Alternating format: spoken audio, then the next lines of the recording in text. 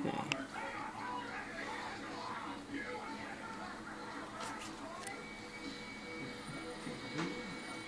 Okay, great. Alrighty.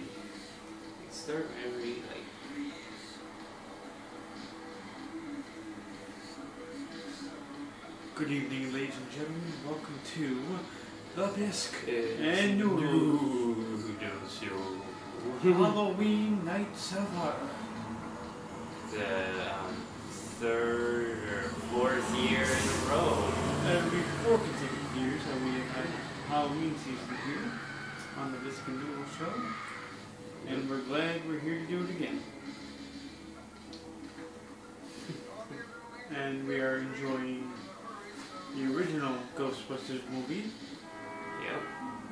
Um, a classic indeed. AMC getting ready, ready to start uh, Fear Fest tomorrow night. Can't go wrong with Ghostbusters. And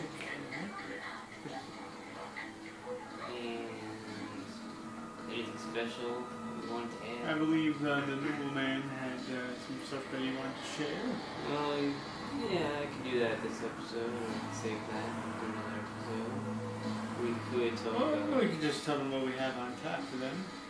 Yeah, um, Noodle's gonna do his, uh, like this, his uh, solo episode yesterday. I'm gonna do my own solo episode where I uh, give you guys a, a ghost story. Any particular reason why I can't be there?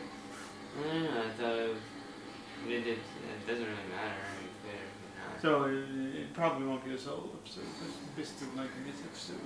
Unlike Noodle Man, he gets lost in the sixth dimension. Yeah. Um, we could talk about scary attractions.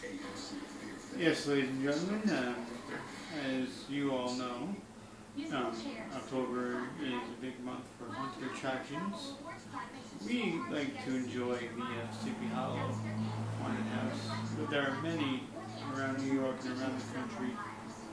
Some of them solely for entertainment, but there are some others that you guys might know of that are actually haunted, for those of you who believe. Which wouldn't be an attraction, it would be an actual Right, that's what I mean. landmark. So feel free to share on our uh, comments right here any places that you know of that are actually haunted anywhere in the country. Whether it be for entertainment purposes or for legend. Or for legend, yeah. hope to go to at least one of them during this uh, Halloween season. And if we do, we'll most likely, we will most definitely get some kind of record of it for you guys.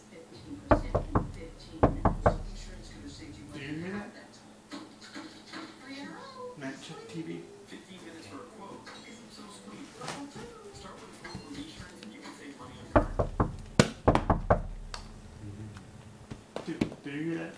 What, what is that? man? Dude, I'm uh, probably you know, just something. It's the Gremlins. Oh wait, it's too early in the night for Gremlins.